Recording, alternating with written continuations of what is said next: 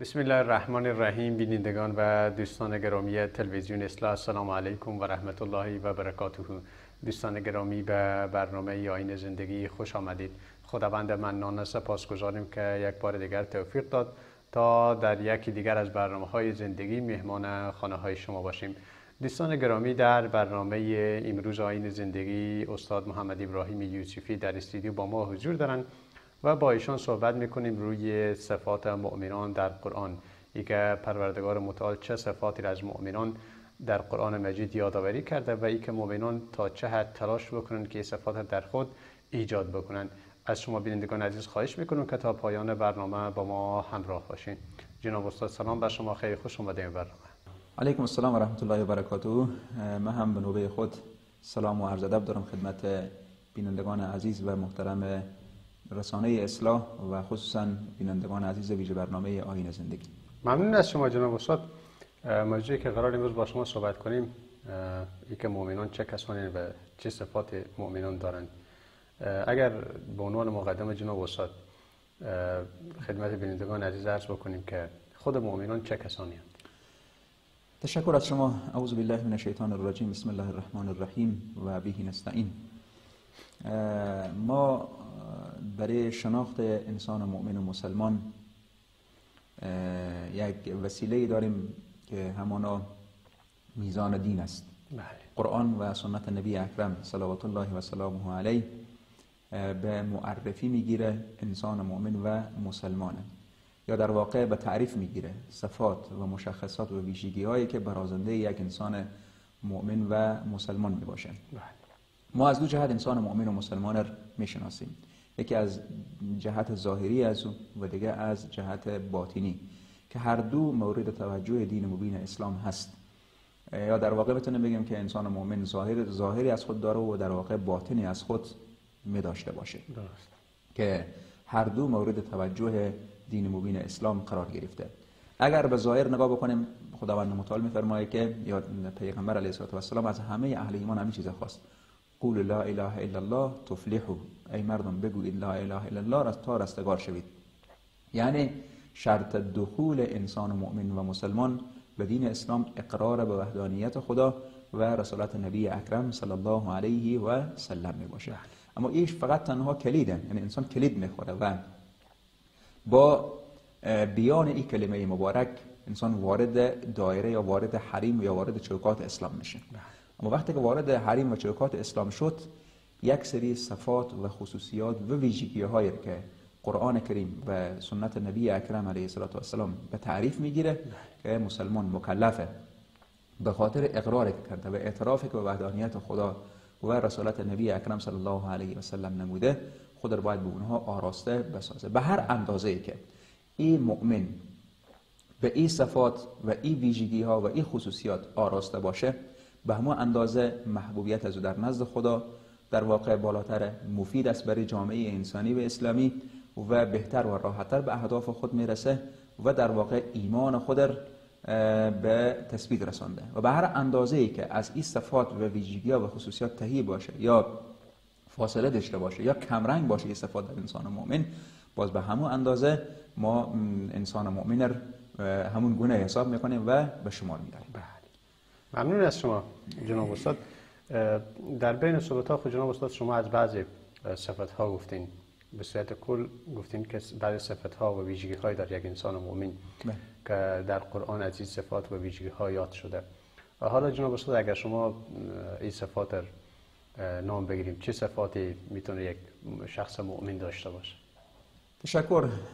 دقیقا قرآن کریم کتابی است که سیمای مؤمنان رو به نمایش می‌گذاره و به تصویر می‌کشه. سیمای یک انسان مؤمن و مسلمان همونطوری که در سوره مبارکه فتح خداوند متعال اصحاب پیغمبر علیه السلام و تعریف می‌گیره.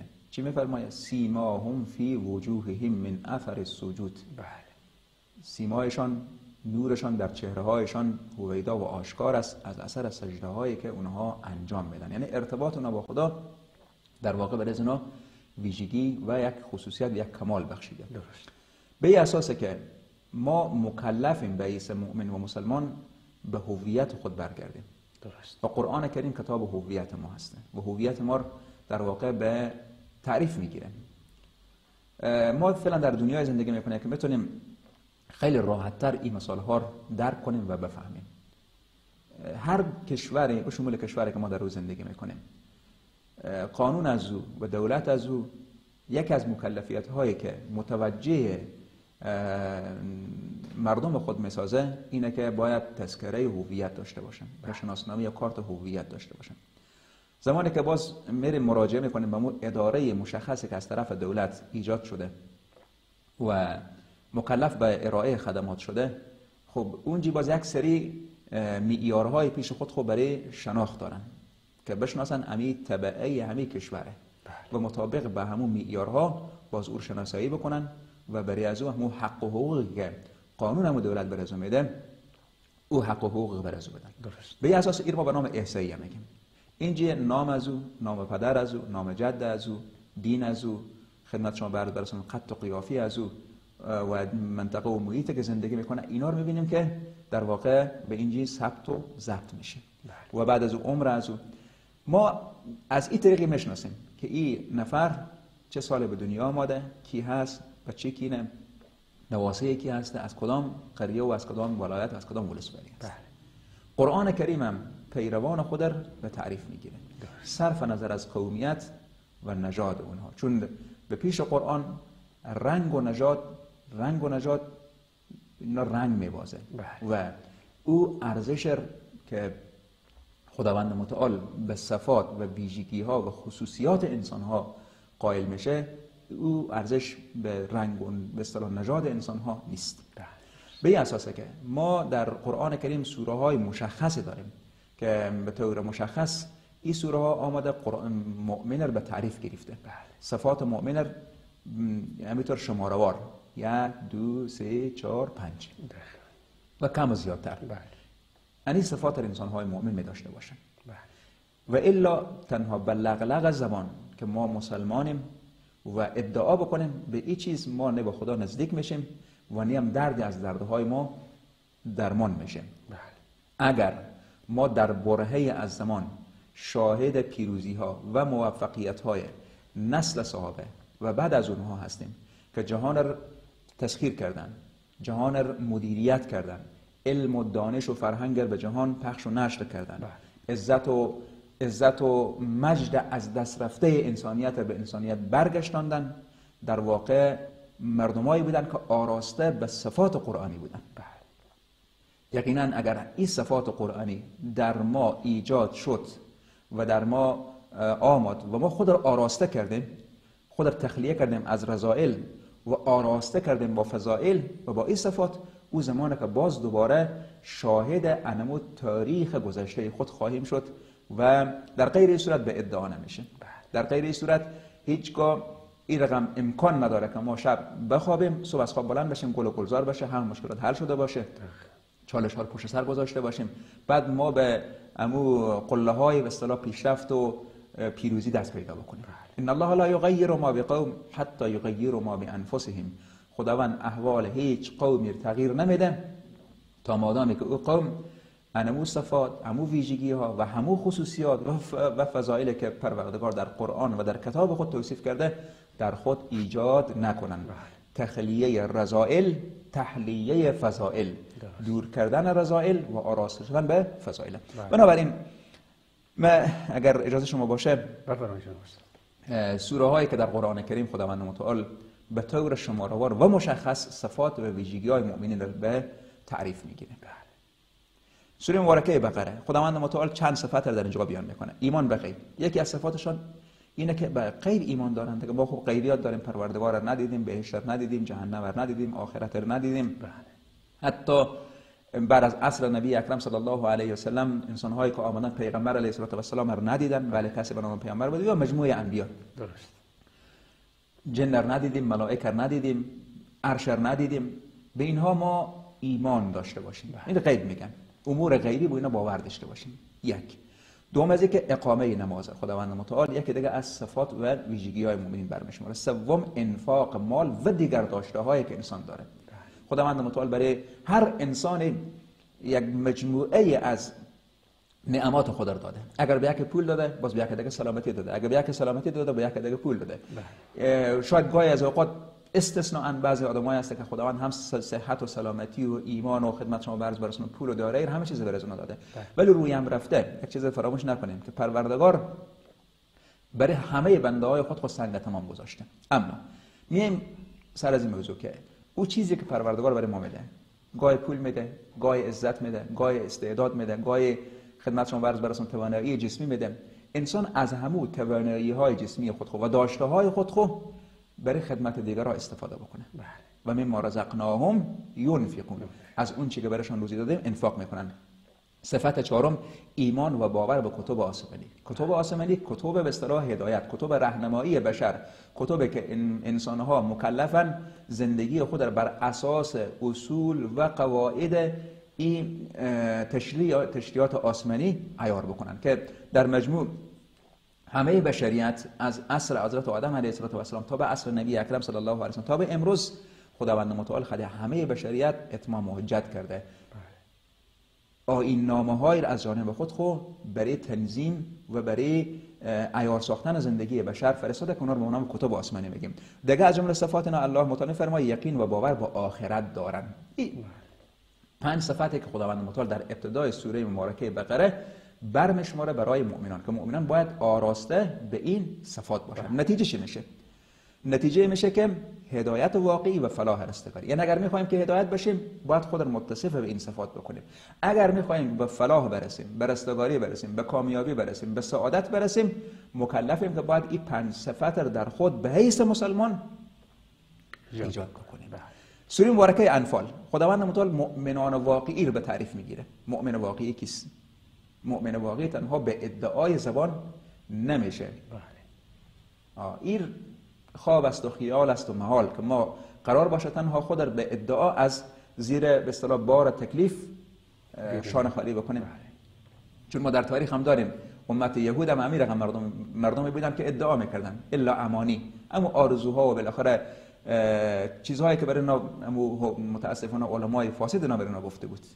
و فکر می‌کردن که تنها با ادعا ما می‌تونیم خودخور از زیر بار مسئولیت خلاص بکنیم. نخیر سوره مبارکه انفال پروردگار در ابتدای سوره چند صفت برجسته انسانهای مؤمن به تعریف می‌گیره. یک اینه که هرگاه نام خدا برده شود دلهایشان حراسان میگردد. یعنی از نام خدا پیششان بسیار معظم محترم مکرم و وقتی نام خداوند متعال برده میشه بی نهایت دلهایشان حراسان میشه. حساب وا می‌کنن برای پروردگار. یعنی کسی در زندگی به نام خدا هست که حاکم زندگیشان هسته. دیگه که هرگاه آیات خداوند متعال برایشان خوانده میشه و تلاوت میشه یا خودشان تلاوت می‌کنن دلهای اینا مملو از نور ایمان و قوت ایمانی میشه. و دیگه صفت سومی که پروردگار در این سوره به نمایش به تعریف می‌گیره بر پروردگارشان توکل می‌کنن. متوکلن. پلان دارن برنامه ریزی در زندگی خود خود می‌کنن اما دل به اسباب نمیبندن. بلکه دل به خالق اسباب میبندن. از اسباب استفاده می‌کنن و در واقع او کسی که این اسباب رو به کار انداخته و به کار می اندازه و به اصطلاح چی رقم بگم که این اسباب یعنی همی یعنی خصوصیت کارائیر میده پروردگار است. بله. انسان مؤمن به الله توکل می‌کنه. و دیگه ای که اقامه نماز می‌کنه. ببینید بازم در این جگاه پروردگار به اقامه نماز اشاره می‌کنه. و از آنچه به آنها روزی داده شده و یا از آنچه که خداوند متعال برایشان توانایی داده امکانات داده تجارت داده سرمایه داده عقل و فراست و علم و دانش داده از ای در خدمت دیگران استفاده می‌کنه. نتیجه چی میشه؟ الله میفرماید که اولئک هم المؤمنون حقا. یعنی هر کس که آراسته به این پنج صفت باشه مؤمنان واقعی انمینا هستند. سوره مبارکه مؤمنون. خدای تبارک و تعالی هفت صفت برمشماره برای انسان های مؤمن. یک خاشع در نمازن. در نماز خود حضور دارن. یعنی اصلاح نماز. به اصطلاح جزء برنامه خود دارن. نماز خود را اصلاح می‌کنن. علما میگن که دو چیز اگر اصلاح شد زندگی انسان اصلاح میشه. اصلاح نماز اصلاح زبان. این دو چیز. اصلاح نماز ارتباط ما با خداوند متعال درست می‌کنه. و اصلاح زبان ارتباط ما رو با مخلوق پروردگار جور می‌کنه. دیگه صفت دیگری که خداوند متعال در سوره مبارکه مؤمنین برمشماره اعراض کننده از کردار بیهوده و گفتار لغون یعنی دنبال امور لاوبالی امور بیفایده اموری که خدمت شما برز برسانم جز گناه و جز وقت ضایع کردن هسته دنبال چنین چیزهایی نمیگردن. سوم انجام دهنده زکاتن. یعنی از اون نعمتی که خداوند متعال برشان داده او بهره و حصه ای که پروردگار در از حق مساکین و فقرار در او مال گذاشته او قشنگ و مطابق به دستور خدا بیرون می‌کنن و به مستحقین از اون میرسونن. دیگه حافظ افت و عورت خود هستند والذین هم لفروجهم حافظون. حافظ افت و عورت خود هستند اشباه می‌کنن خود خود منتها از راه مشروع نه از راه های نامشروع چون خداوند متعال قوی ترین غریزه که در وجود انسان قرار داده غریزه شهوته. و این غریزه باید اشباه بشه. منتها راه های اشباه هم خداوند متعال برای ما و شما به معرفی گرفته که ازدواج از همو طریق درست از او. و دیگه ای که امین و امانت نگه دارن هم امینن هم امانت نگه دارن. هم لاماناتهم و عهدهم راعون مؤمنان واقعی کسانی هستند که امینن امانت نگه دارن خیانت نمی‌کنن. اهل خیانت نیستن. و صفت دیگری پایبند به تعهدات و پیمانهای خود هستند. اگر با کسی یا به کسانی تعهد مسپارن قول میدن سر قول خود خو مرد وری می ایستن و پیغمبر علیه السلام در یکی از احادیث خود خو خلاف وعده خلف وعده جزء صفات منافقین برمشمرن و به این ترتیب فرمودن میفرمای الله متعال که حافظ و متوجه نمازهای خود هستند. در اول صفات هم بحث نماز بود بله. که خاشع در نمازن.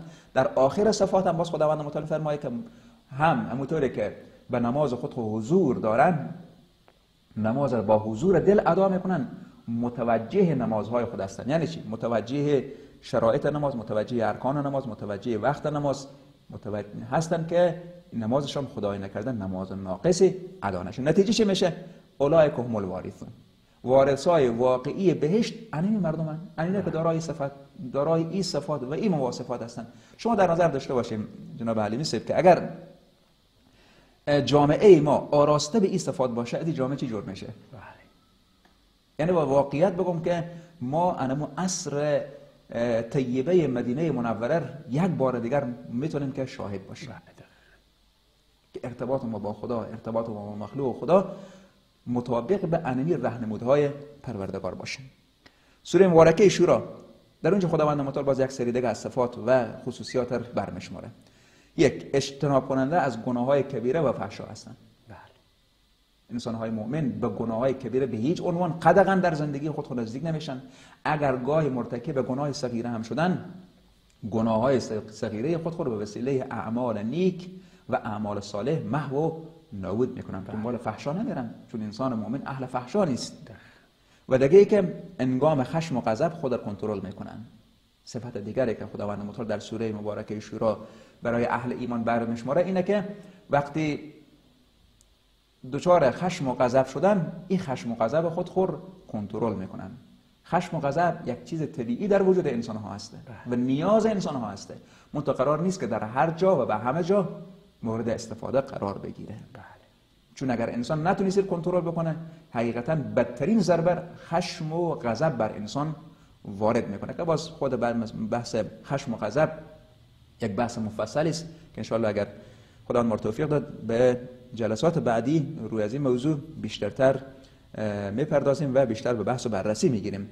دیگه اجابت کننده امر پروردگارشان هستن. یعنی هرگاه خداوند متعال دستور داد که این کارا بکن میگه چشم. این کارا نکن میگه چشم. صحیح شد؟ در مقابل امر و نهی خدا گردنش از مو باریکتره. امر خدا مطابق چی رقم بگم؟ تابع هوای خود قرار نمیده بلکه هوا و هوس خود در تابع امر خدا قرار میده. پیغمبر صلی الله علیه و سلم فرمودن که ایمان شما به پایه کمال نمی‌رسه. حتی یکون هوا و تبعا لما جئت به. تا مادامی که هوا و هوس از او مطابق به دستور خدا و دستور پیغمبر از او باشه. بله. درست شد؟ یعنی این رقم نیست که جایی که میل ما بود بریم بگیریم از شریعت. جایی که میل ما نبود باز بیایم هزار رقم توجیه بکنیم. نه. وقتی امر پروردگار برای ما ثابت شد و صریح بود اینجا دیگه ما به پی مناقشه و بحث و این گپا نمیریم. و دیگه ای که الله میفرمایه اقامه نماز می‌کنن. باز در اینجا خداوند متعال در لابلای استفاد باز بحث نماز مطرح می‌کنه. و دیگه اهل مشوره اند. و امرهم شورا بینهم. کارها خود خود به تن- تنهایی و به فردی انجام نمیدن. اهل شورا و مشوره هستن. به هر اندازه که انسان مشوره بکنه به همون اندازه کارهایش بهتر و پخته‌تر به پیش میره. چنانچه ازواج مطهرات در رابطه به صف- صفات نیک پیغمبر بزرگوار علیه الصلاه و السلام میفرمایند که پیامبر ما دیدیم که از همه بیشتر مشوره می‌کردن. پیامبری که با وحی الهی سر و کار داره. پیامبری که و ما ینطق عن الهوا ان هو الا وحی یوحى این پیامبر می‌خواه برای امت خود تعلیم بده که شما امور زندگی خود و امور حیات خود به وسیله شورا و به وسیله مشوره پیش ببریم. و امروز هم می‌بینیم جهان در به گونه‌ای که اونهای موفقن که کارشان شوراییه اونهای موفقن که به شورا و مشوره ها احترام می‌گذارن و در واقع مطابق به همون سیستم حرکت می‌کنن. اهل انفاقن صفت ششمی که خداوند متعال در سوره مبارکه شورا به تعریف می‌گیره اهل انفاقن بخیل نیان مؤمن اسیر مال خود و بنده مال خود نیست. بله. بلکه امیر مال خود می باشه یا به قول شیخ عبدالقادر گیلانی رحمت الله علیه چه زیبا میفرماید. میگه که مال مال در کیسه انسان مؤمن است نه در قلب انسان مؤمن. اگر خدای نکرده مال آمد به وارد قلب انسان شد انسان را نابود می‌کنه. آب در کشتی هلاک کشتی است. آب در زیر کشتی پشتی است. همین آب دریا با این عظمت و بزرگی خود خوب ببینه که کشتی چقدر چیز ریز یک چیز بسیار بسیار کوچک در او پهنای به اصطلاح بزرگ اقیانوس ها دیده میشه. بله. تا مادامی که آب از این دریا به زیر از کشتی باشه این کشتی راحت حرکت می‌کنه و هر چقدر هم دریا طوفانی باشه نهایت به ساحل نجات می‌رسه. اما اگر ولو دریا آرام هم باشه این کشتی اگر آب از این کشتی آب دریا به داخل از این کشتی آمد نهایت چیکار میشه؟ غرق میشه. بله. و به این ترتیب یاور و پشتیبان همدیگرند یاور و پشتیبان برادر مسلمان خود هست. برادر مسلمان خود در تنها نمی‌گذاره. در هر جایی که صدای مظلومیت برادر مسلمان خود رو بشنوه به سراغ از میره. بله. با مال خود با دعای خود با قدم خود نصرت برادر مسلمان خود رو می‌کنه. حامی برادر مسلمان خود است. به پشت برادر مسلمان خود قرار می‌گیره. در مقابل برادر مسلمان خود قرار نمی‌گیره. ما زمان موفقیم که پشت به پشت همدیگر بیستیم. همدیگر را تقویه بکنیم. نه که در مقابل همدیگر بیستیم. اگر در مقابل همدیگر ایستادیم ولا تنازعوا فتفشلوا و تذهب ریحکم. تنازع نکنیم. اگر تنازع کردیم شل میشیم.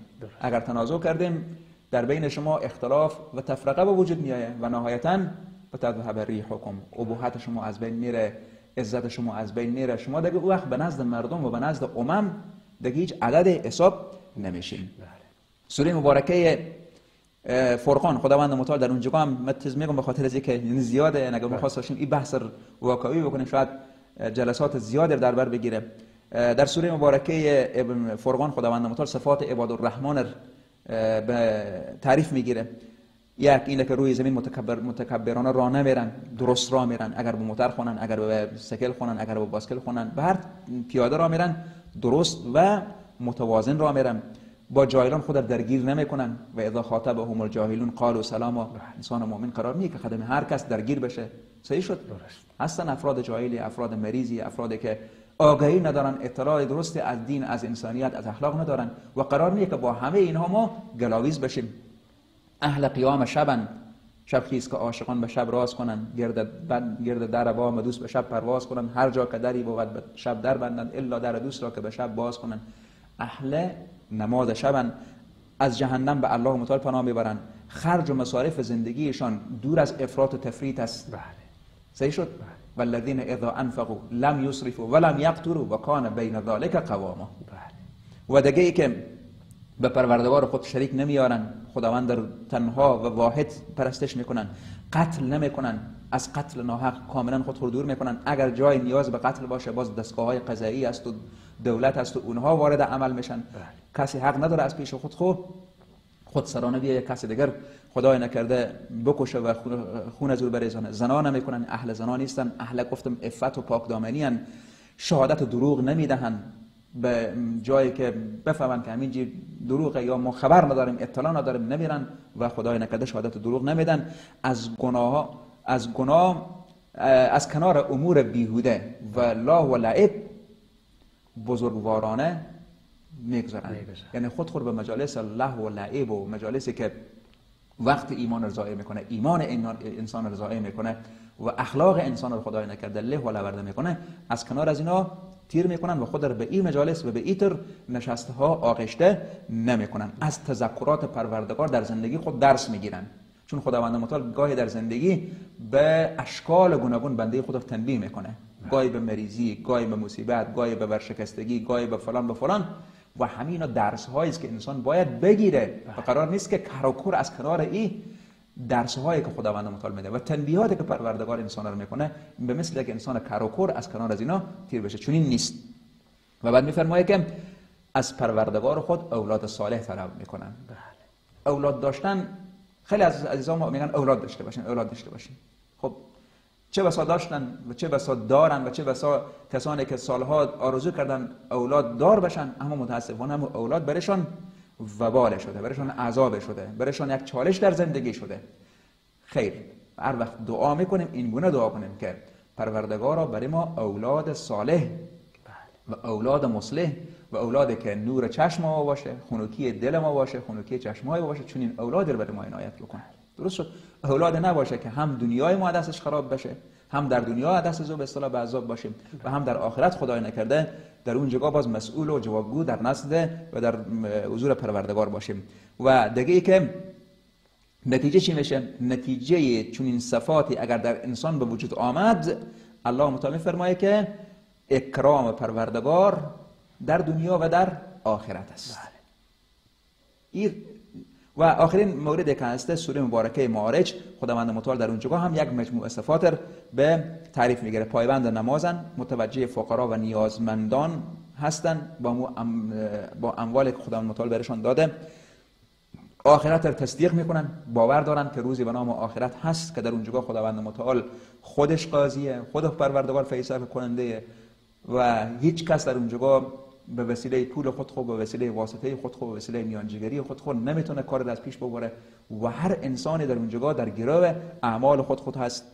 و به این ترتیب خدمت شما برز برسونم حافظ افت و عورت خود هستن. باز در اینجا خداوند متعال به مسئله افت و عورت و اخلاق توجه می‌کنه و به تعریف می‌گیره امینن اهل امانتن اگر یعنی مردم اونا رو امین میشمارن اگر امانتی برشان چی از قول چی از متاع دنیا و دیگه مسائل به عنوان امانت به نظرشان می‌گذارن در او خیانت نمی‌کنن. خدمت شما برز برسونن پایبند تعهدات خود هستن.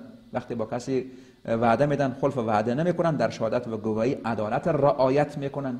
وقتی شهادت میدن دیگه جانب قوم و جانب به دوست رو نمی‌فهمن جانب ایور نمی‌بینن بلکه جانب حق رو می‌بینن. نگاه می‌کنن که حق با کیست؟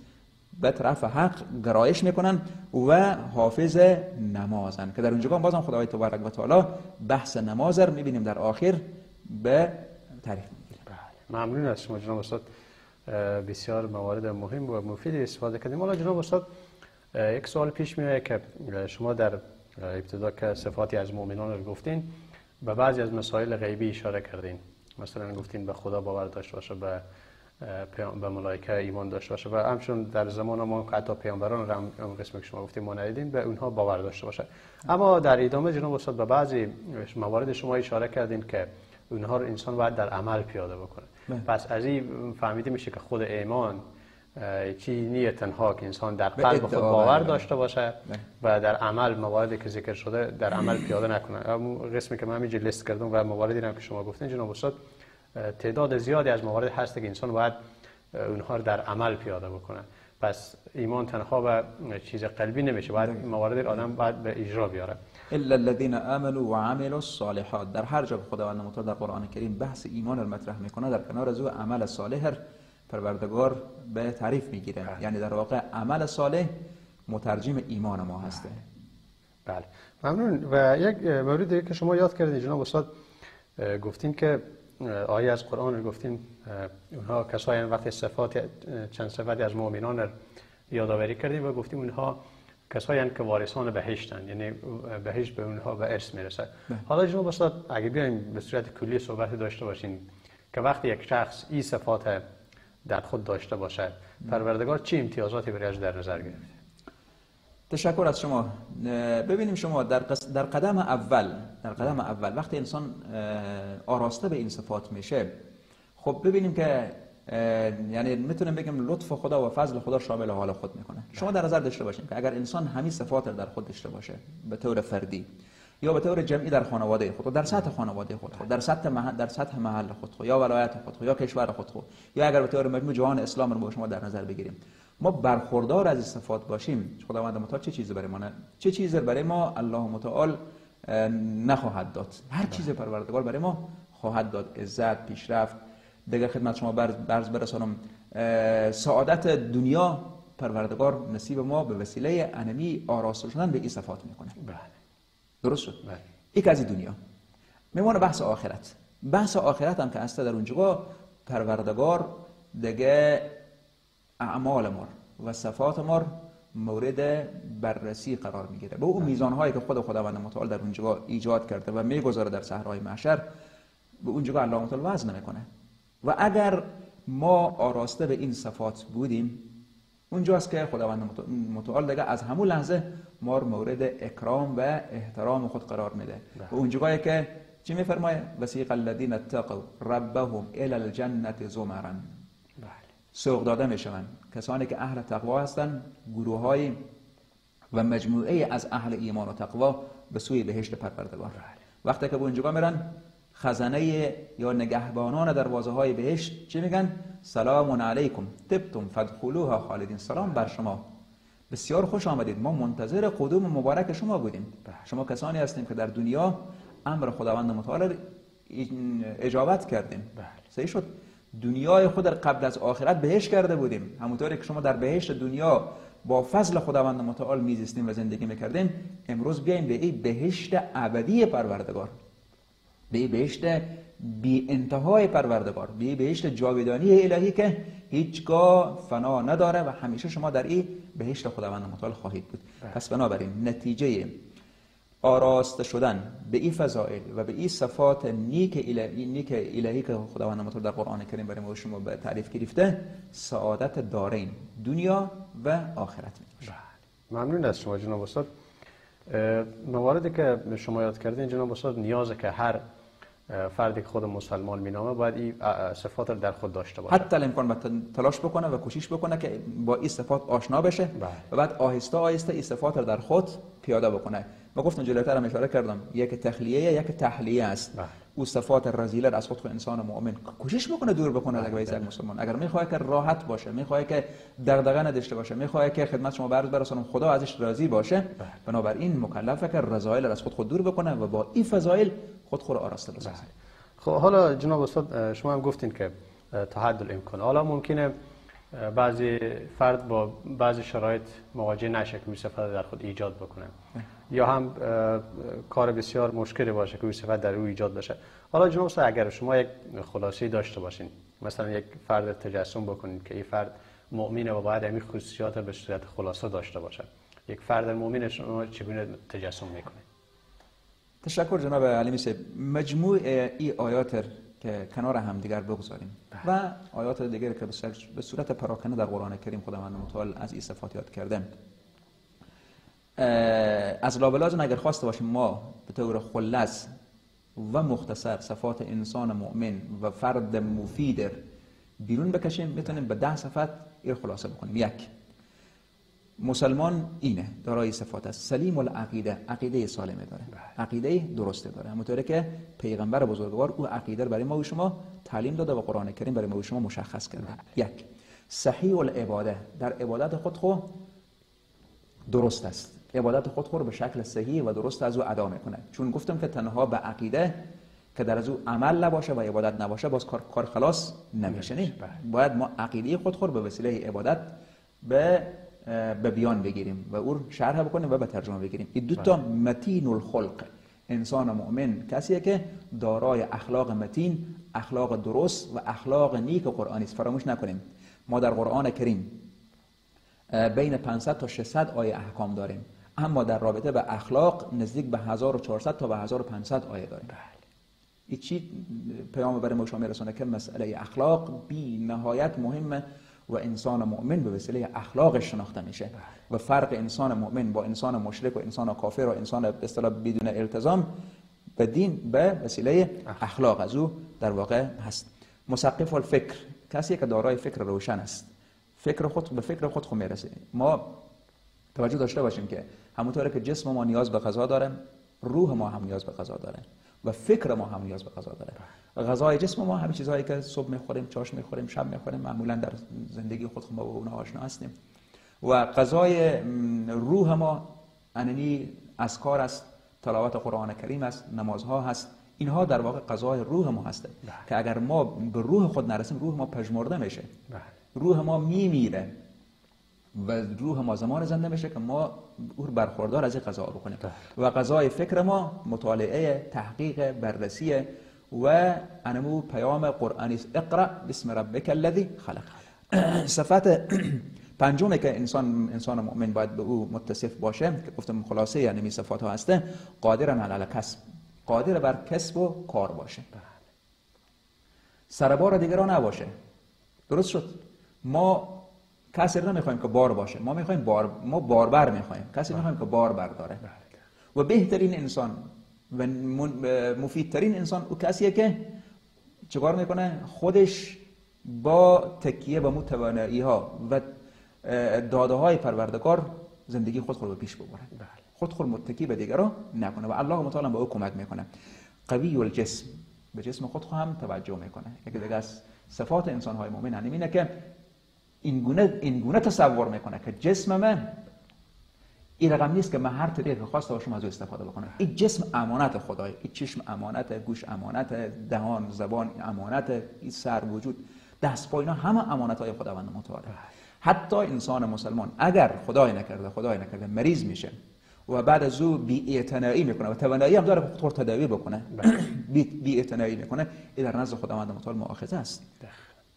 به خاطر از که ما جسم قوی داشته باشیم باید که همون راههایی که منتهی به جسم قوی میشه حتی الامکان تا اندازه که در توان داریم به اونها فکر بکنیم. دیگه حریص علی علی وقتی مسلمان کسیه که حریص بر وقت خود است. وقت خود را در امور بیهوده و امور لایعنی صرف نمی‌کنه. از لحظه لحظه اوقات خود استفاده می‌کنه. چرا؟ چون اگر از لحظه گفتن علما میگن که وقت مانند شمشیره. اگر تو او قطع نکنی او چیکار می‌کنه؟ او طور قطع. می‌کنه. و به این ترتیب منظما فی شؤونه انسان مؤمن و مسلمان کسی است که در شؤون زندگی در امور زندگی خود منظمه. در درس خواندن خود منظمه در کار خود خود منظمه در اداره خود خود منظمه در وظیفه‌ای که به او سپرده میشه منظمه. در همه امور خود خود در لباس خود منظمه در داخل اصطلاح خانه و اسباب و وسایل خانه خود خود در همه امور خود خود منظمه. در عبادت خود منظمه. عبادت خود خود به شکل صحیح و درست از او و به وقت از او ادا می‌کنه. و نهم نافعا لغیره. این مختصر اگر خواسته باشیم مؤمن, مؤمن تعریف کنیم مؤمن کسیه که منفعتش به غیر می‌رسه. بله. خیر الناس من ینفع الناس. بهترین مردم کسی که نفع از او به دیگران برسه. بله. و شر الناس هم داریم. شر الناس کیه؟ پیامبر علیه السلام فرمودن که در او حدیثی که فرمودن مؤمن نیست. او کسی که دیگه مؤمنان دیگه مسلمان ها از دست و از زبان از او در امان نیستن. یعنی خیر از او برای جامعه نمی‌رسه. نه خیر دست از او نه خیر زبان از او جامعه می‌رسه. بنابراین این مؤمن واقعی و مؤمن کامل شمرده نمیشه. و دهمین صفت که اگر ما به طور مختصر برای انسان مؤمن بر بشماریم مجاهدن لنفسهی. بله. با نفس خود مجاهده می‌کنه. اسیر نفس خود نیست بلکه باید امیر نفس خود باشه. نفس خود و خواهشات نفسانی خود و هواهای درونی خود تحت کنترل خود می‌گیره. هر چک نفس از او خواست و همه چیز از او لبیک نمیگه. بله. بلکه خواسته های از او به تطابق میده. با قرآن و با سیرت پیغمبر صلی الله علیه و سلم درست شد بله. و فراموش نکنیم که عقل خود در اسیر شهوت و اسیر نفس خود نمی‌کنه بلکه عقل را امیر می‌کنه و انان نفس خود خور انان خواهشات خود خور به دست عقل خود میده بله. و این گونه زندگی خود خور به پیش می‌بره پس مؤمن دارای انمی صفات دهگانه است که یک دفعه دیگه میگم سلیم العقیده صحیح العبادت متین الخلق مسقف الفکر قادرا على الكسب قوی الجسم حریصا على وقته منظما فی شؤونه نافعا لغیره مجاهدا لنفسه بله. خلاصه از یک انسان مؤمن بود که صفاتی که باید در خود ایجاد بکنه. حالا اون قسم گفتم که صفات زیادی خداوند در قرآن بیان کرده نتونه یک شخص در وجود خود ایجاد بکنه. اما در آخر شما خلاصیر گفتین که ما باید هر کدام ما در تلاش ازی باشیم که صفات در خود ایجاد بکنید و انشاءالله که پروردگار ما رو در این مسیر توفیق بده. و به پایان برنامه رسیدیم جناب استاد. خیلی ممنون و سپاس از شما که حضور یافتید در برنامه. تشکر از شما و همچنان از بینندگان عزیز که تا این لحظه ما را تحمل کردن و با ما همراه بودن. ممنون از شما. و ممنون و سپاسگزارم از شما دوستان گرامی که تا پایان برنامه ما را همراهی کردین. به امید از که مواردی که جناب استاد خدمت شما ارائه کردن برایتان مفید واقع شده باشه و هر کدام ما از این پس تلاش بکنیم که صفات در خود ایجاد بکنیم تا پیروزی و کامیابی دنیا و آخرت نصیب ما بشه. دوستان گرامی ممنون و سپاسگزارم از شما و تا برنامه بعدی آین زندگی خداوند یار و نگهدار.